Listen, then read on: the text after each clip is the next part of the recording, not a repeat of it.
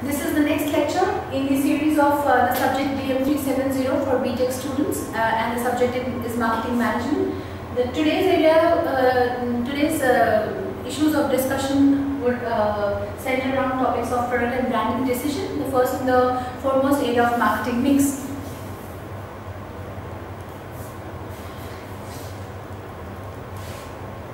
The series or the flow of the uh, PPT shall uh, move on uh, uh, from understanding the concept of product uh, through various levels, understanding how uh, there has to be a proper balance between the tangibility and the intangibility component of a product, the classification of product, two major decisions in the form of product lifecycle and new product development. Then we'll go on to the decisions of innovation, of diffusions, adoption categories and branding decisions. Let's start with the first one with understanding what a product is all about. So anything that can be offered to a market for attention, acquisition, use or consumption that might satisfy a need or a want is what can be a product. Uh, in the very first unit, we have tried to understand that in today's time, the scope of uh, marketing has uh, exceeded uh, across boundaries and it's uh, almost possible to sell uh, and market every other thing and um, commodity present into the marketplace. The next slide will help us understand what are the various types of uh, categories that can be marketed in the form of an offering. So it can be a physical product like a table, car or a pen. It can be people like Sachin Tendulkar or Amitabh Bachchan, celebrities, politicians, sports stars. It can be a place in terms of countries or uh, monuments existing within a country, say in the form of uh, Agra, Goa, Taj Mahal, etc. It can be organizations in the form of UNO or say Unilever or CRA, etc. Ideas in terms of fighting against corruption, fighting for freedom, democracy, uh, mm, preventing child marriages or saving the uh, women, uh, children and so on and so forth. Services in the form of education, lawyers, teachers, etc. Anything that a company has to offer either in the form of a product, price, place, promotion that may satisfy the need and want of a market is what is termed as a product. Before we go on further, one has to understand that uh, consumers have a different expectation as far as getting these offerings from the market is concerned. Most of the people buy the products just for the uh, for the physical satisfaction part where if they have uh, paid money for some product they are interested in getting a physical commodity back home. But then there are other consumers who are looking for the functional aspect. For example, if you are buying a toothpaste from the market and if you are looking for for a, uh, for, for the physical aspect, you want the tube of the uh, of the toothpaste uh, to be you know giving you the comfort of ease you want uh, the cap to be easily closable and openable. Uh, and since the product is, is a toothpaste, it should have the basic, uh, it should serve the basic purpose of cleaning the teeth. But then there is a functional aspect to it which talks about the other benefits that the product gives in terms of better performance than the competitors which are existing into the market or the better constituents it is, about. There is a third level also where the consumers are, uh, are indulging themselves these days and that is the symbolic aspect. It, it actually you know takes uh, the decision of uh, uh, acquiring a product from the market to a, uh, to a different level where people do not just go into the market to buy a toothpaste but they go to buy a Close-Up or a Pepsodent they do not go into the market to buy a phone, but they would want to buy a Apple iPhone, i6. You know, that is a sort of a, a, a sort of a emotional connect that they feel with the different uh, brands available into the market. It is where the emotions come in. Therefore, the products are sold at three different levels. If we see this diagram, uh, the coming uh, figure, it will help us understand that people buy products from the market for the basic core benefit. This is here where the physical aspect comes in.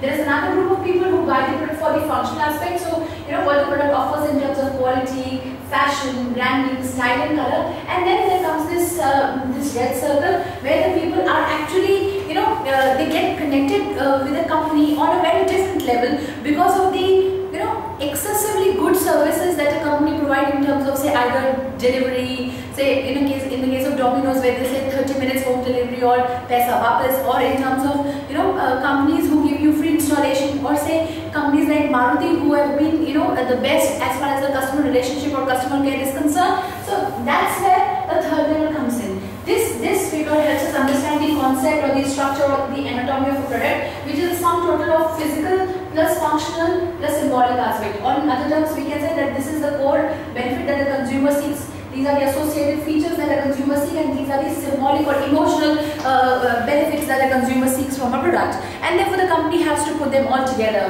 This is another way of looking at, uh, category, we can say that product is made up of two types of attributes. Uh, there are certain which can be seen, touched, felt and uh, stopped and uh, you know uh, they can be kept for a long term. So they are known as the tangible aspects in terms of the design or the looks or the packaging or the name of the product. And there are certain other intangible aspects which comes in the form of only those which a consumer can experience in terms of the image that the product provides to you, the value uh, that you uh, perceive the product to have and your perception levels.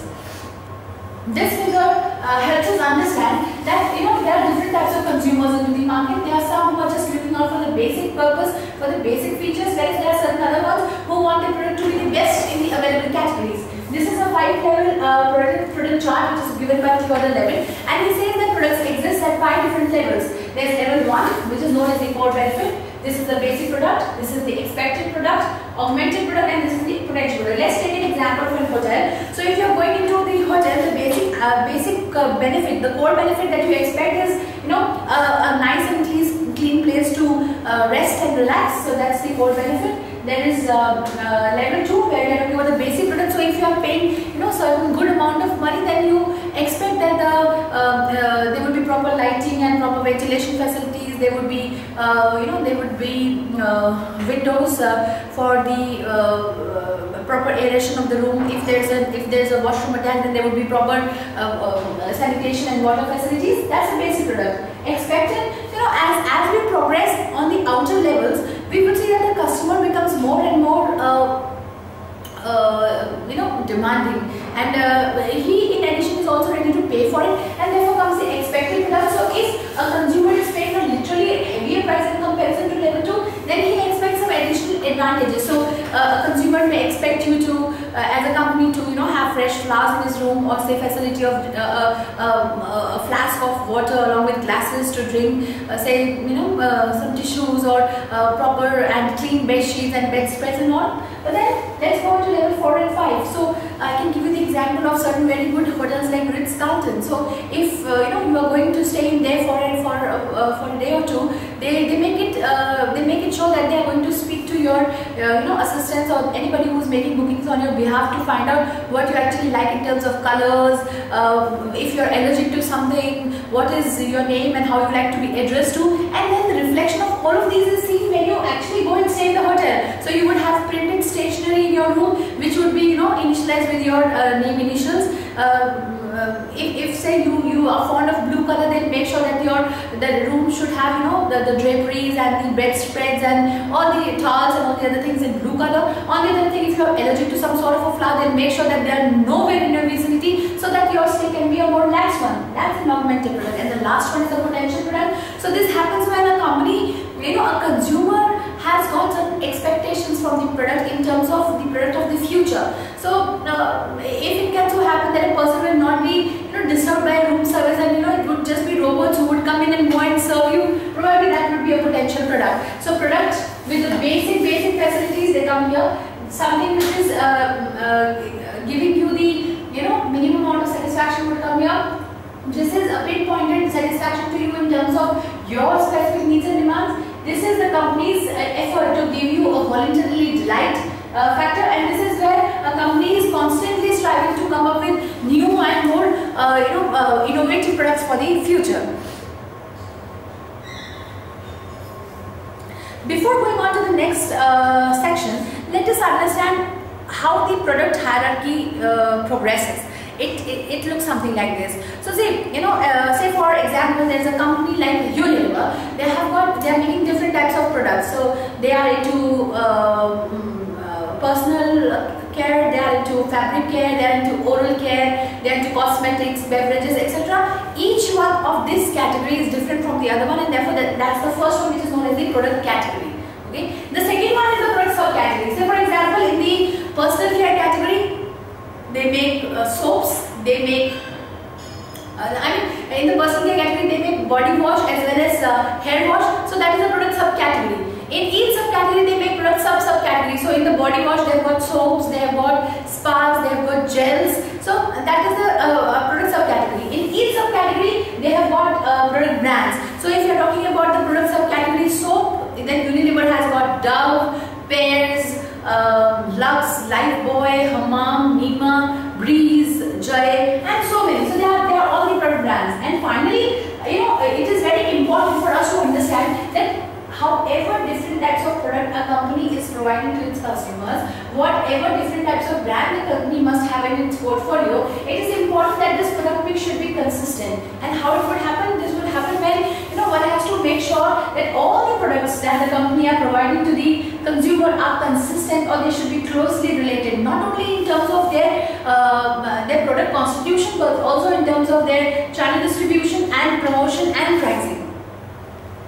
This is uh, one of the uh, displays of how a product mix look like. So if you see at the top, uh, there are written, it's an example of the company Unilever. Uh, Unilever operates in a number of categories, but let's say the first one is the soap, the other one is food, the third one is personal care. These all are the uh, different categories in which the company ventures and therefore they are known as product lines. In each uh, category, the company has got product subcategories. So in the soap category, they have got laundry soap, which is to wash the clothes, and they have got the toilet soap. In the toilet soap category, again they have got herbal soaps and beauty soap. In the beauty soap category, they have got Lux and brand, and therefore the first one, soap, food, and personal care, is referred to as the product line.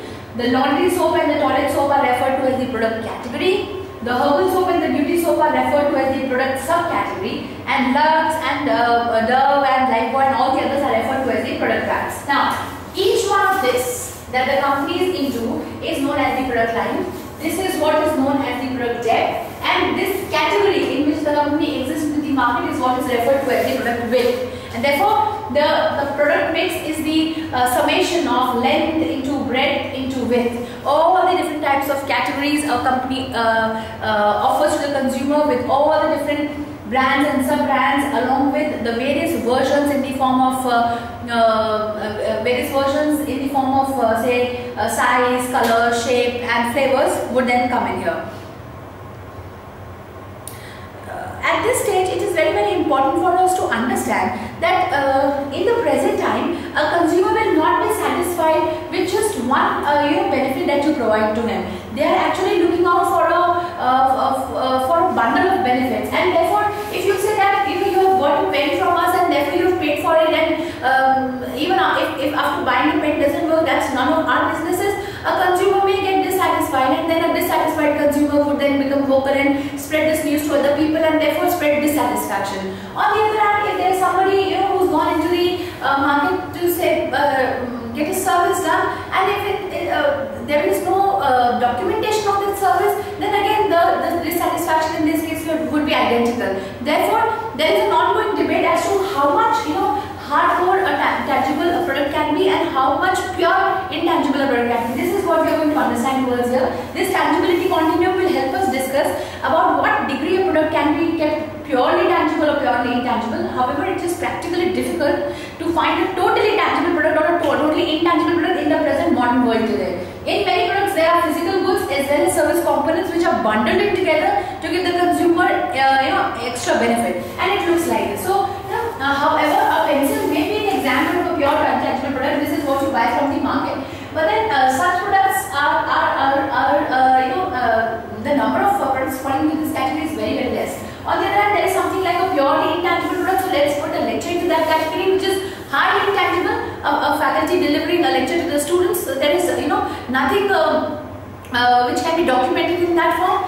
But then in between, if we shift from this left side to the right side, we will see that there are three middle situations, the middle ways, in which we see that there is a product which is called a car, there is a restaurant service and there is there airline services. If we refer to the car services, it says that there's a tangible good with some portion of services. So naturally, if you buy a car from a market, uh, you have some sort of apprehensions in the form of whether it would not function well or whether you know some services would be required. So the company would give you some free services, say three free services in the beginning and then uh, some paid services later on. But then a consumer would have the assurance that even after taking the taking an expensive product back home if something goes wrong, uh, the company is going to stand beside you. On the other hand, there is a restaurant. It is almost in hybrid equal situation. So you go into the restaurant, you order food, you sit there, so they give you chair table and chair to sit they you know they would give you facilities of lights and uh, you know air conditions if it is a good hotel or a basic fan. They would give you drinking water along with it. They would you know if in cases the hotels are good enough they are going to give you a salad which is a complimentary thing or a complimentary welcome drink. So it, it is a hybrid equaling. The food that you pay for you eat there. Okay but then in today's time uh, we have seen most of the time if uh, there's something uh, you know we do we uh, if some leftovers are there in the end. We would like to pack them and take them away home. They also give you those packaging facilities. And then let's go to the airline segment. So again, in comparison to car where the tangibility component is higher, and intangibility component is less, in the airline category it's just the opposite. There is the, the service component which is the intangible component is very high with very less uh, tangible component. For example, you pay for an airline ticket to, to be you know taken from one destination to another. Uh, you travel through the plane, but then they may give you uh, uh, drinking water facility. If it is on a paid basis, they may give you certain food to eat. Uh, but you know everything is on a paid basis. Again, you get to bring nothing back home, but um, the, the service in order to be utilized properly, they have to club in certain goods as well. So uh, that, that's that's what, what it looks like. Simply, uh, you know, to make a consumer have that uh, satisfaction that um, you can still stock certain things. The uh, the tangibility and intangibility criteria have to be fixed. If I can just uh, you know go back to the lecture aspect there. Right now you know that uh, if, if it were a purely intangible service then you know the lectures given in the classes happens then and there and then it gets finished. But right now if we are recording these video lectures for you this is something which is kept as a as a document and therefore now this service is converted into a product. That's what we are seeing This slide helps us understand that all the products available into the market or existing into the market are not same. There are various classification into it. The first classification happens in terms of who is the actual user of the product. So naturally have got two types of product classification, consumer goods as well as industrial good. So if a product is being used by an end consumer, it is known as a consumer good or if a product is being used by an industry uh, to engage into further production processes or to resell it, then the product becomes an industrial good. The industrial goods can be classified into several categories. There are materials and part, there are capital items and there are suppliers and services. So we have got raw material, manufactured material, installation, supplies, business services, etc. But if we talk in terms of the consumer good, there are basically four types of consumer good. We have got convenience product, shopping product, specialty product and unsought product. A convenience product can be further classified into staple goods, impulse good or emergency good. So again these are you know staples would then include all the uh, basic uh, grocery items that we need back at home uh, for our day-to-day -day living. It also includes vegetables and fruits and dietary products. Impulse good would then talk about the uh, so-called unorganized market where you know you just uh, want to buy buy something which is not very pricey because uh, it fascinates you or it attracts you and then you have the emergency products so mostly medicines or you know emergency item would fall into this category. The shopping items as against the convenience good would then talk about the items that are purchased or, or from the market. Not very regularly but then um, uh, uh, since the price involved is less you can uh, just make a schedule that you want to go for shopping and buy products like shoes or clothes or accessories etc and then there are the specialty products so pricey products which are purchased you know rarely or which are purchased after long intervals will fall into this category you would look out for special sellers who excel into those product categories say for example mobile phones electronics automobiles, jewelry, jewelry etc. And then the specialty good comes in. The unsought goods are sometimes those products which uh, you know until and unless becomes a necessity a person would not buy them. So for example encyclopedias or say medicines for some you know um, some very chronic diseases which have suddenly started spreading in a locality would fall into this category.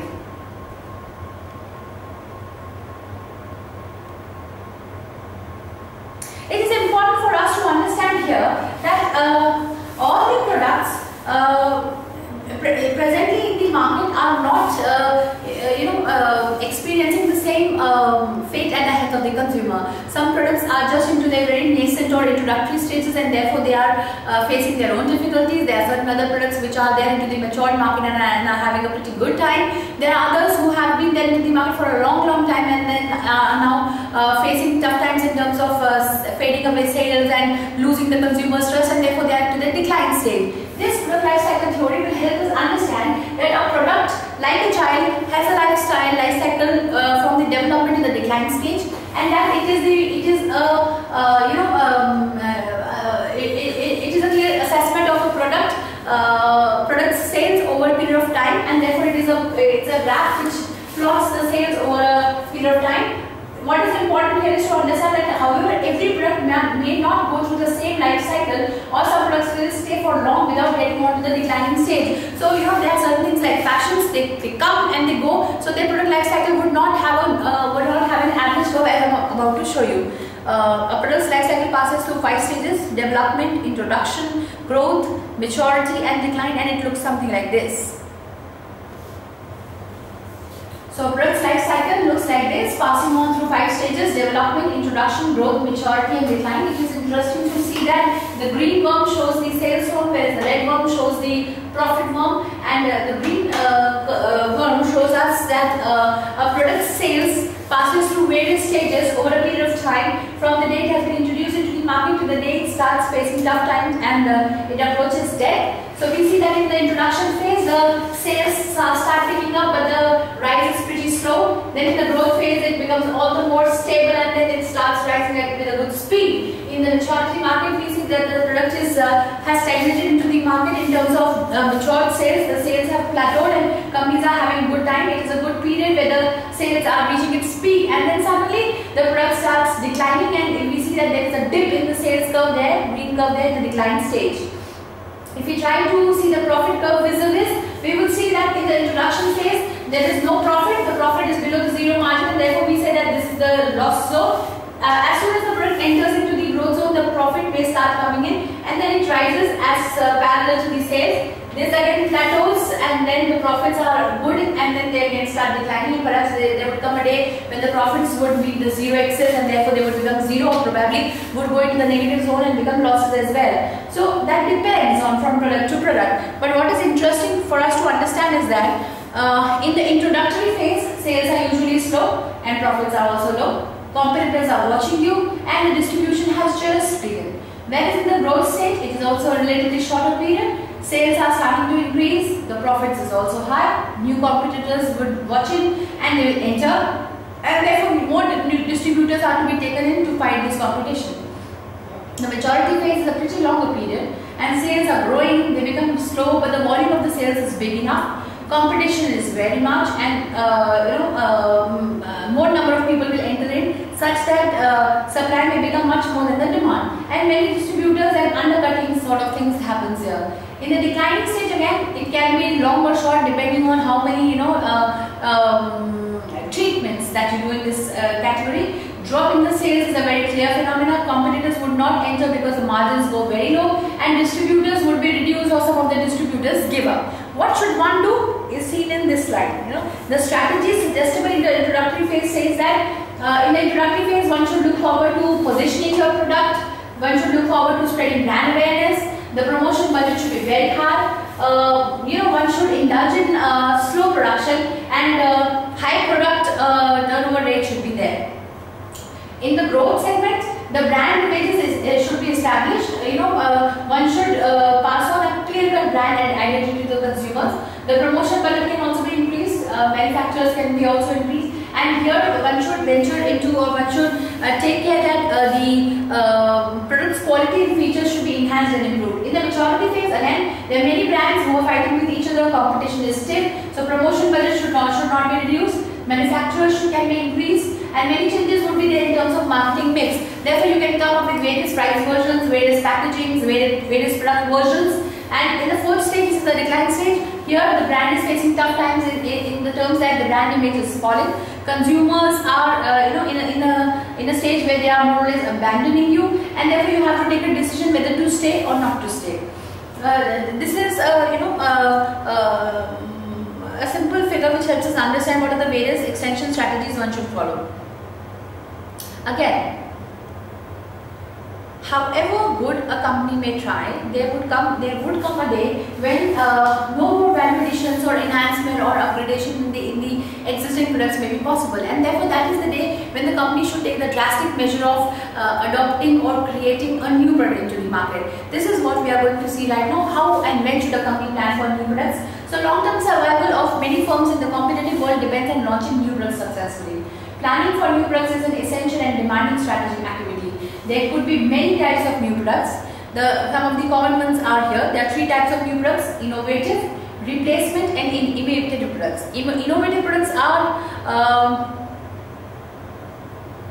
these are the products which are new to the world and they are new to the company. They are truly new to the customers and therefore they provide completely different alternatives to the existing products. For example, the vaccine for AIDS or the products which are based on nanotechnology or say, you know, we are looking for certain firefighting missiles and therefore they are heat-seeking missiles. Then there are those advanced computers which are you know sensitized towards um, uh, uh, uh, say strangers' presence or some other things like that. And then there are the replacement products so these are, uh, all of these products are new to the customers or even to the company, they are essentially improvements or redesigns of the existing products. So when the company wants to take the you know uh, easier course, rather than coming up with an altogether new product, they may uh, you go for drastic changes or minor or improvement changes in their existing product. For example, the digital phones were uh, replaced, the digital phones they replaced the analog market, the disposable razors they replaced the old base, uh, blade based razors and then the shaving foam and gels have replaced the shaving foams. The third category is those of the imitative products. Again, these are neither new to the world and uh, these are new to the company but they are not new to the market. The consumers know about them and in other words, these are you know uh, many products come in this form to the market. One or few companies may come out with an innovative or replacement product but many uh, or, or the others will start copying either the technology or they would come out with a similar products and therefore they are also known as the Me Too products. So I, will just take the example of this one here. You know when Mercedes-Benz market they launched those uh, luxury sedans. So Ford followed in and they launched their versions. Then General Motors came in and then Toyota and then Nissan is doing this. So imitative. Now it is on the it is a company's idea which which type of product they want to come into the market. But then one thing remains for sure that in order to suit the changes of the customer's need or to adopt the new technological advances and avoid obsolescence or to match the competition or to follow the, the various stages in the product lifecycle concern or to bring down the cost, the company has to enter into the new product development. And then this new product development in itself is also a step-by-step -step scientific process which has got eight steps into it, beginning from idea generation, screening, concept development and testing, market strategy, business analysis, product development, test marketing and commercialization the eight-step process which will help the company to make sure that this new product development process is done in a systematic manner and that no uh, mistakes or uh, uh, you know steps are missed out in this course. Let's come on to the first step, the idea generation step. It happens when the company sets into course to find promising new ideas which will help them to start a new business or which will help them to come up with a new product to the market, something which the consumers will uh, accept with open arms. So idea generation ranges from incremental improvements to the existing products to new products to the world. For example, a company may produce a drug to reduce cholesterol with less side effects that is known as improvement or the company may produce a drug that cures AIDS that would be a new product to the world. It is a company's prerogative which they want to come up with. What are the sources of these new ideas? They can come from within the company, that is from the presence, uh, you know, directors, employees or employers. It may come from the customers, it may come from the competitors, it may come from the outside inventors, it can come from the channel members, these are the distributors and suppliers to the company or it can come from the consultants. Anyway, a company is uh, interested in having as much as ideas that they can have. There are various methods of generating new ideas. Sometimes the companies would just search for them. Uh, this search can come from the various research work which has been done by people. They can come from internet. If somebody has seen something there, then suddenly the idea pops up. Or it can be a result of a systematic process in terms of research, market research, where the you know group of uh, people may be hired who would just go about and uh, uh, interview a group of uh, users or say of sales executive or meet some focus group members like retailers and then try to find from them what are the uh, consumers looking forward to these days, are they satisfied with the existing product and therefore the idea for a new product may pop in. Or it can happen through technical research where the firm's internal research laboratories and uh, others would take help of uh, certain uh, uh, physical or uh, you know devices with the help of which the ideas can come in. Once the ideas are are received or accepted at one end, comes the second process which is the idea screening and evaluation. What happens here is the company is interested uh, in, uh, uh, you know, uh, rather than accepting the good ideas, the company is more interested in rejecting the bad ones because uh, uh, larger the number of bad ideas that the company may have and if they are sent into course, it would result in the losses of resources and manpower and time etc. Therefore, the company should have a clear-cut screening policy that would reject the unpromising products, ideas and further only those ideas which are promising in nature. Two basic questions needs to be answered at the screening stage. The first one is, is the idea practically implementable? Can the product be developed? Can it be, uh, would the company's marketing and financial capabilities support it? and the second important uh, you know uh, question that needs to be answered is whether the venture is commercially feasible, which is you know whether um, the product uh, would give in uh, enough profits, whether the market's attractive rate is high enough that the consumer would be um, uh, you know regularly coming in, and finally whether the product matches the environmental concerns or not. Once this is done, the company enters uh, into the evaluation phase where after the uh, in initial screening, more comprehensive evaluation is required. It is better to have a buyer's reaction also into the evaluation process. Therefore, a response from a sample of buyers, potential buyer uh, could be a very good criteria to find this out the ultimate demand for the product. This is also called a proposed product concept testing. However, the actual product is not in existence and it could not be able to get results as in the test marketing process. So this is just to get a primary idea from the consumer that if in future company comes up with an idea of such sort would the consumers accept it or would it be you know uh, something that could satisfy their present need comes stage 3 where we are talking about concept development and testing so what happens is there can be many ideas but ideas have to be converted into concept. These concepts would then help us to you know float the ideas. So a concept is a detailed version of the idea which is stated in meaningful consumer terms in the form of you know how would the product actually look like whether it would be into a liquid form or a say you know a, solid form uh, whether it would be a big or small whether it would be a one time use or it can be used again and again certain such things would have to be answered. Therefore the development concept will be tested among a sample of consumers again. This will be presented to the target market in the words of picture and questions will be asked to check whether the target market market understands the concept and would ever further buy in the future. Step 4 talks about the market strategy development. Here, the, here for the first time, the company starts uh, uh, thinking in terms of the 4 P's. Therefore, the company sets into course to find answers to how the product would be like. You know, what would be the brand name of the product, uh, whether the, um, uh, the product is uh, uh, you know going to going to be for which type of consumers uh, decisions related to government regulations about packaging labeling, labeling would be checked. The company would also decide what shape what color what variants and other properties they would be you know um, coming up with. And finally uh, if at all the company would offer a guarantee period what would it, would, would it be like? The second decision would be to finalize the pricing strategy whether they would come up with a skimming penetrative or premium pricing uh, one also have to find out what would be the margins that the company would offer to the dealers and distributors. If in case there are people who would uh, join in uh, for bulk sales, uh, what uh, discounts would come in, what would be the credit policy. In case of distribution, the company uh, would definitely be interested in selecting the channel partners, discussing on issues like transportations or logistics and most important, the point of sales materials.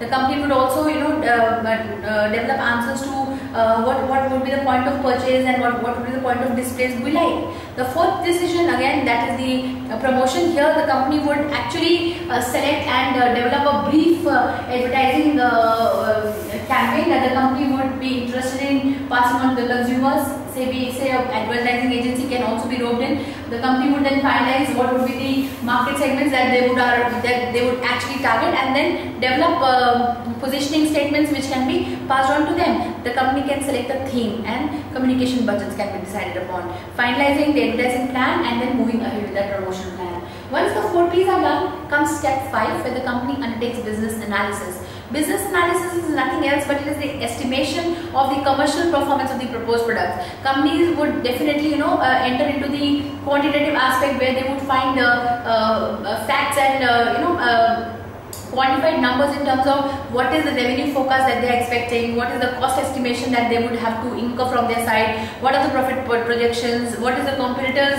pricing, what is the competitors profit quotient and you know acceptable level of profits for a given product development. Such figures would have then, uh, then to be targeted. The company would also try to assess the amount of risk which is involved into it.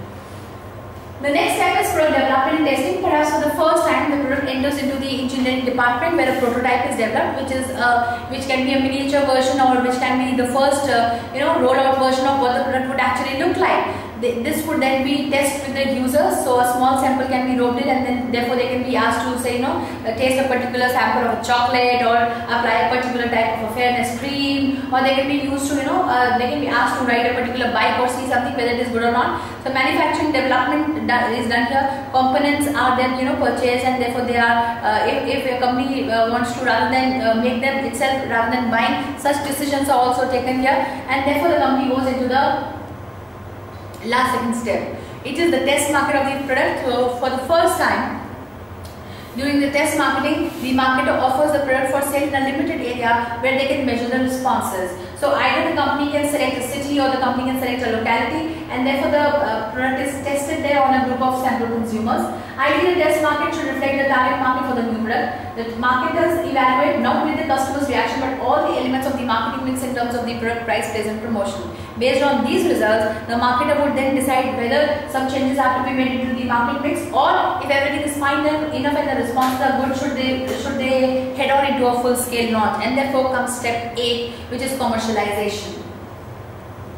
What is important for one to one is to understand that consumers are of different type. They have uh, uh, different uh, orientations towards the innovations that come into the market. Some are very adventurous, some are you know risk takers, whereas on the other hand there are some people who are apprehensive and who would not want to go and be the first one to try into the market. On that basis, we'll try to see uh, what is the rate of adoption or what are the various adopter categories into the market. There are five levels of adoption. Uh, the first one is awareness, second is interest, third is evaluation, fourth is trial and the fifth one is adoption. What typically happens here is in the awareness phase the consumer becomes aware of the innovation but lack information about the product. So it is those group of consumers who, who needs to be informed about the product. These may be either the unawares or they may have only partial information about the product. Then there is the interest level. It is where the consumer is induced to seek information about the innovation. So you know consumer is, is just given the primary idea of what the product is all about and then they can go ahead and start seeking help of uh, areas like the commercial sources or internet sources of their friends and relatives in order to get more information. Once they have enough information, the consumer considers whether or not to try the innovation and therefore they start evaluating them in terms of uh, uh, the amount of risk that may uh, that may you know follow the product's purchase or the amount of money that they are spending or uh, whether there can be any other sort of dissatisfaction that can creep in. The fourth step is trial. The consumer tries the innovation to improve his or her estimate. Until and unless a person has tried something, he cannot you know evaluate the, the idea correctly totally and therefore the trial takes it and finally uh, if the results of the trial are positive the person adopts the innovation and therefore the consumer decides to make it uh, uh, it uh, you know work and take it uh, on a regular basis uh, for adoption for use. Uh, if one is learning the uh, adoption process, one also has to learn that there is something like a diffusion of innovation.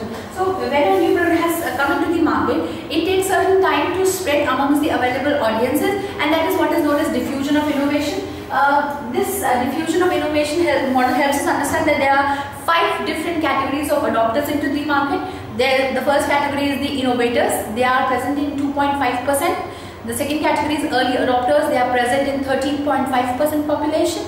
Uh, the third category is majority. So we have got the early majority and the late majority. In total, they are 68%, both comprising of 34% each. And finally, we have got laggards, which are which are 16% of the population. If we see innovators are those people who are willing to try new ideas. So these can be called the adventurers or the risk takers.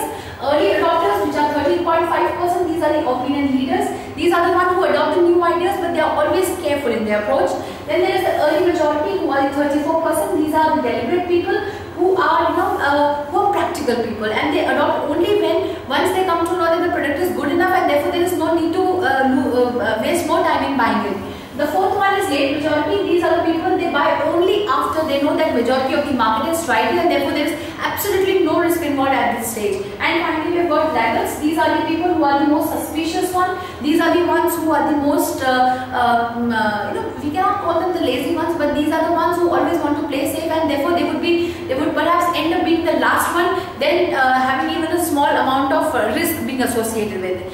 Uh, the diffusion of model looks something like this. Uh, we have got uh, five categories of uh, adopters uh, ranging from innovators who are 2.5%, they are also known as the technology enthusiasts. We have got early adopters, 13.5% who are known as the visionaries. They often become the opinion leaders. We have got early majority and late majority, both 34% each. So these are the pragmatists or the practical ones and these are the conservators who still wait for the others to come in and uh, then to take a decision. And finally, we have got the laggards which are 16% and these are the skeptics. These are always the people who would, you know, uh, take up the decision in the last. And in addition to all this, we have got something like a chasm model. This chasm helps us understand that whereas uh, from innovators to adopters, it's an easy journey But from the adopters to the majority, the journey doesn't happen smoothly. Sometimes there is a gap. It takes a lot of time for the opinion leaders to pass on the information to the majority and for the majority to pick it up and uh, to take the product into the regular course.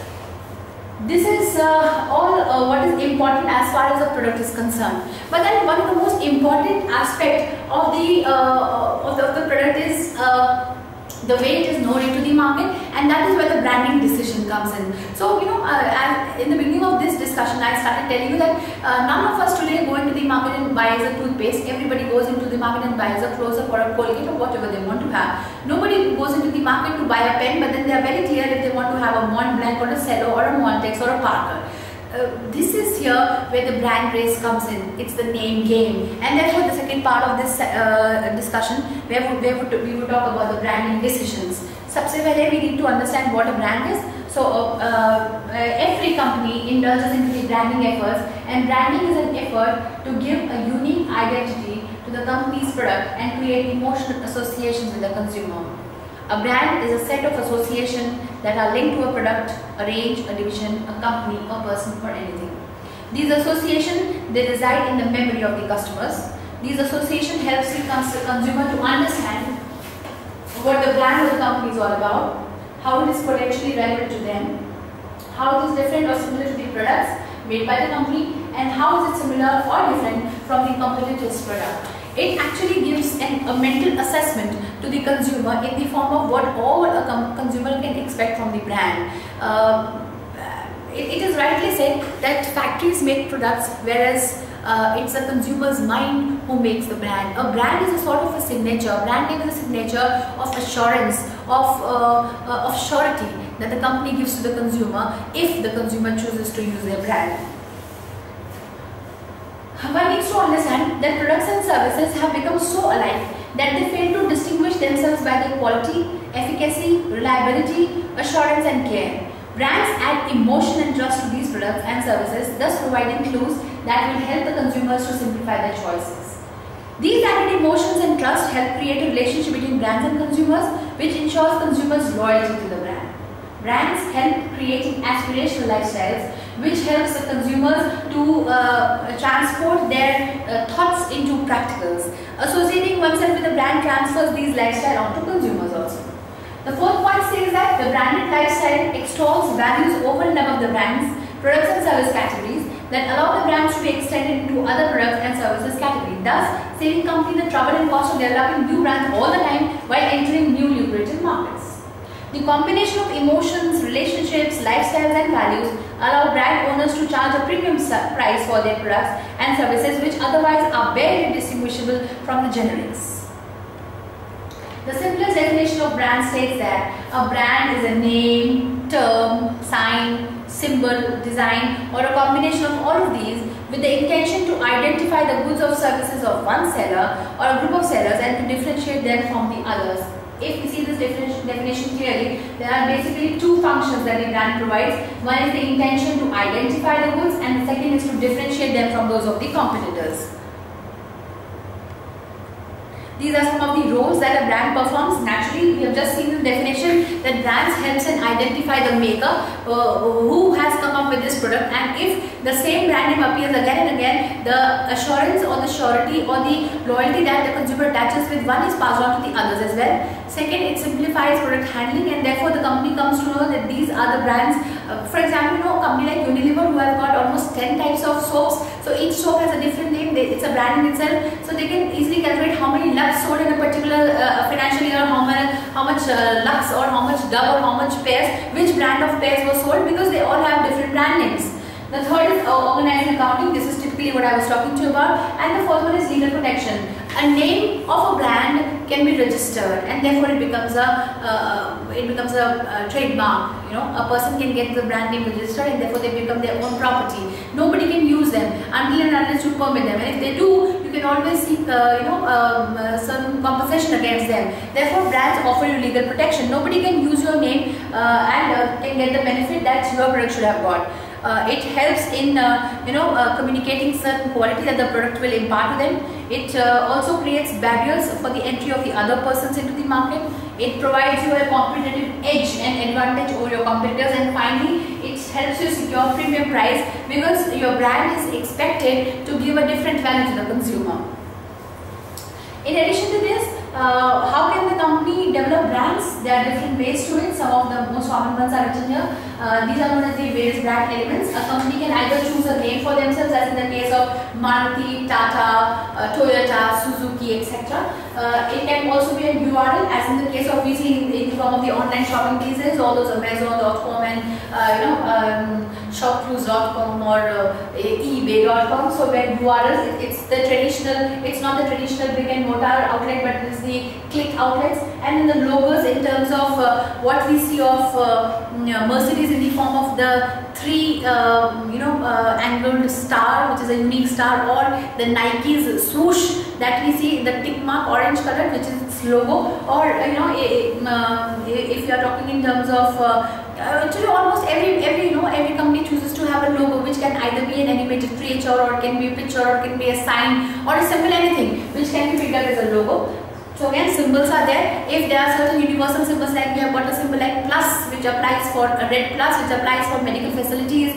We have got a, a you know a, a symbol like uh, um, the you know alphabets uh, for a, a, a H in a caps lock is the sign of a Honda car whereas a H in an italics is uh, the sign of a Hyundai car. So those are symbols. Characters one can have uh, mascots, animated creatures like we have the utterly butterly girl associated with Amul butter that's again character. And slogans, these are, these are typically the taglines or the punchline. So, you know, for every other product these days you have a signature statement. These are what are known as the slogans. So, a company can develop a brand either by putting in one, two, three, four or all the six elements and therefore coming up with a power pack brand name.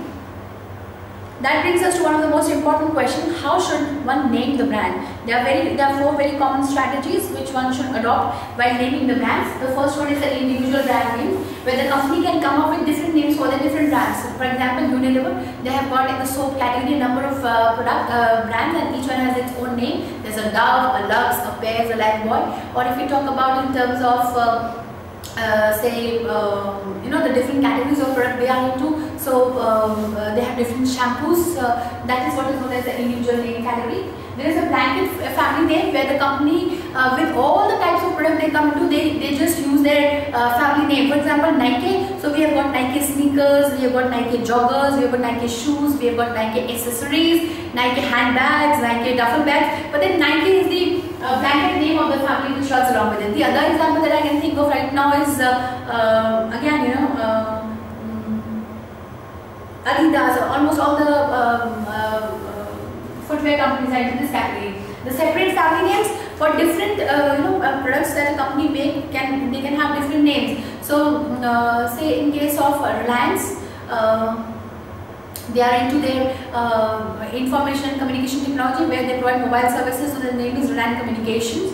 They are into providing you know uh, petroleum and crude oil services. So the name is uh, um, the, the petrol pumps, and then they have got those uh, uh, you know um, areas where they are into investment and uh, other things. So the name is Reliance Money. They are into insurance. So the name is Reliance Insurance. That can be one example. Or as in the case of you know companies like. Um, you know, uh, companies uh, making cement can have a different name for uh, that category. Companies who are into education, then they can have a different name for education. If they are into retail, they can have a different name for retail. Separate family names. And finally, the corporate name with the individual name combo. This is the most common strategy. So if you think about, say, Tata, so they have got a Tata 407, a Tata Nano, a Tata a Sierra, a Tata Safari. So the along with the corporate name, they have the individual name category also. If you talk about a blanket family name, you can think of Johnson and Johnson's, the baby product company. So they, if they make a baby wipe or if they make a baby powder, if they make a baby shampoo, if they make a baby cream or a lotion, so it's a Johnson's baby cream, Johnson's baby lotion. If you talk about se separate family names, so uh, we can have uh, examples of companies like uh, Heinz.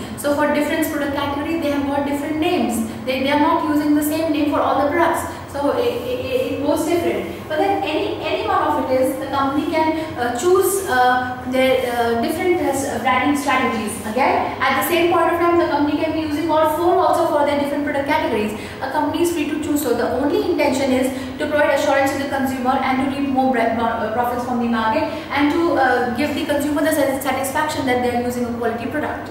This is all one needs to understand about the uh, product and branding decisions. At the end, I've tried to compile the names of uh, certain references that you can use which will help you to um, develop a better understanding of the topic that we have discussed.